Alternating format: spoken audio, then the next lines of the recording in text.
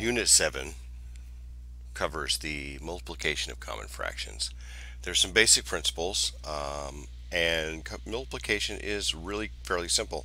In fact, you've been doing it all along with some of the previous units on fractions.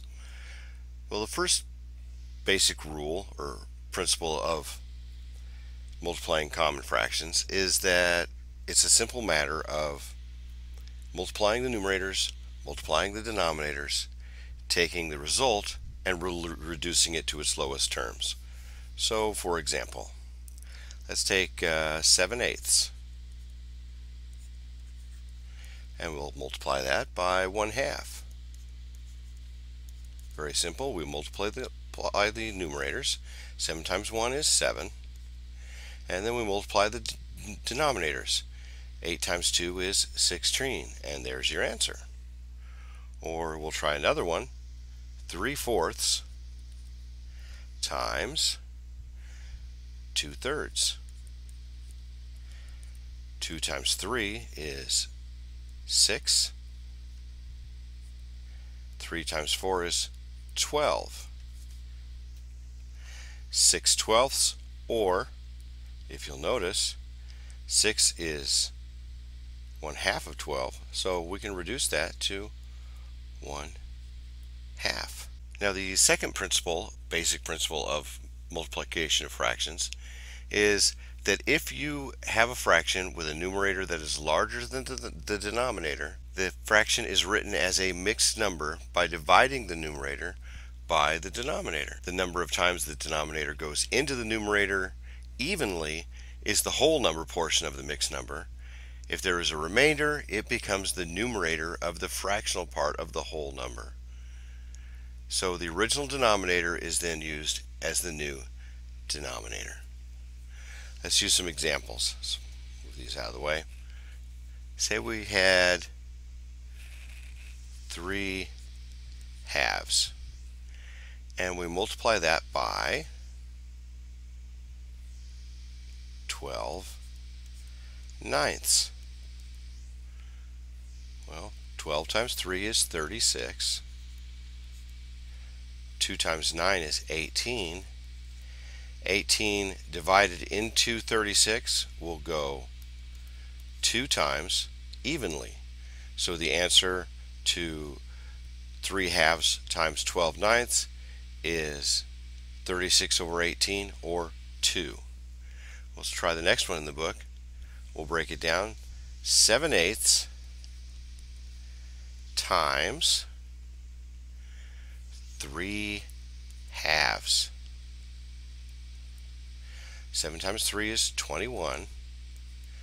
8 times 2 is 16. 16 will go into 21 one time evenly with 5 left over or remainder. So the 5 goes in the numerator and the original denominator 16 remains as the current denominator. So 1 and 5 sixteenths is the answer to that one. Now, the last basic principle that we cover in the book on multiplication of common fractions is that when you're converting a mixed number into a fraction, all you have to do is multiply the denominator by the whole number portion of the mixed number and then adding that result to the, to the numerator.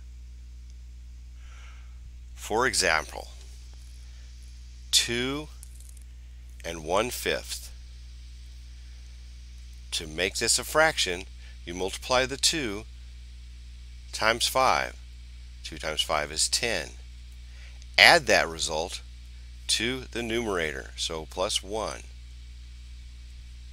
And then you add the denominator at the bottom, or 11 fifths. Okay? So let's do some review problems using these basic principles we've just, just gone over. Let's start with this first one. 1 half times 1 fourth. 1 times 1 is equal to 1. 2 times 4 is equal to 8. So the answer to A is 1 eighth.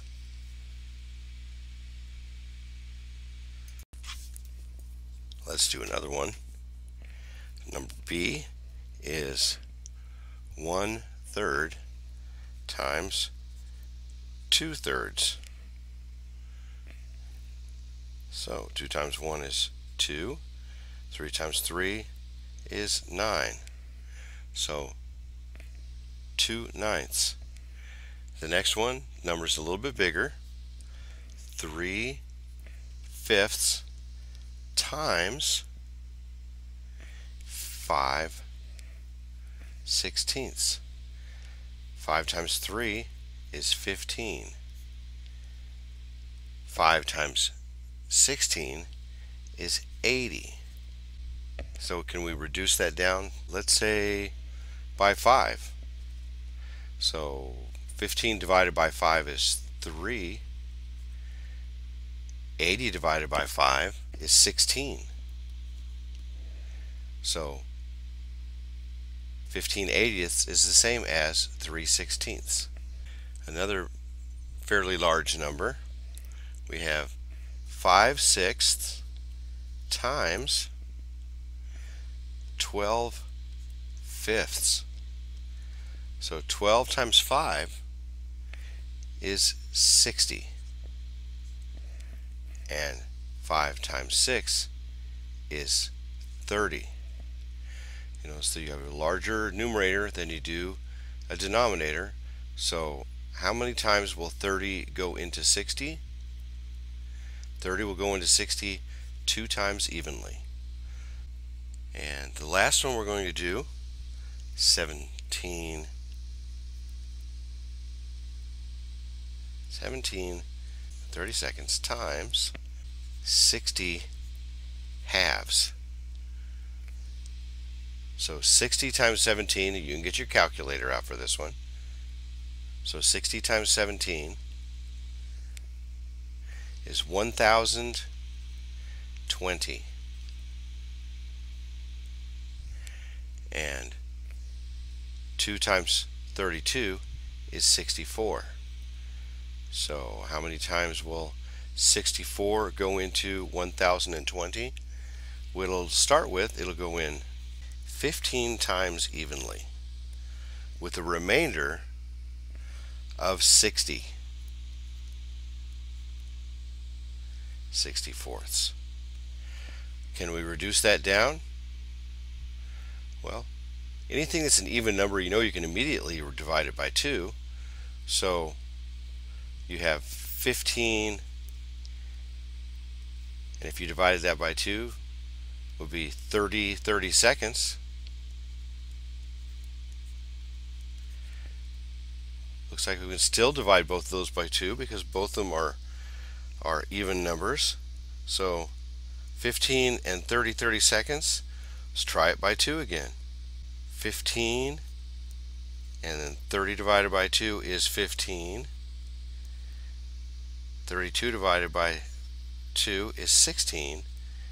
And now you've got an odd number and an even number. There's really no way we can reduce that any lower. So the answer to E is 15 and 15 sixteenths. I hope that helps, and we'll see you next time.